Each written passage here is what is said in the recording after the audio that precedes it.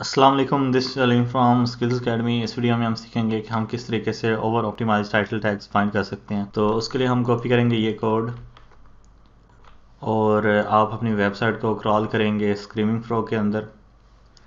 उसके बाद आप जाएँगे टाइटल टैग्स में और यहाँ पे ये कोड पेस्ट करेंगे, उसके बाद एंटर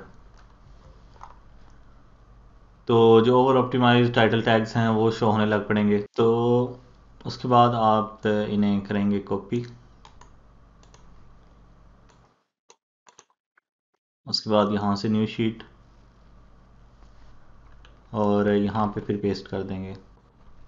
तो अगर इन टाइटल्स को देखा जाए तो इनमें कोई इश्यूज़ नहीं है। ये ज़्यादातर वो टाइटल डिटेक्ट करता है जिनमें डुप्लीकेट वर्ड्स हों या अननेचुरल लिखे गए हों। तो उम्मीद है आप इसको बेहतर तरीके से यूज़ कर पाएँगे। वीडियो देखने का शुक्रिया।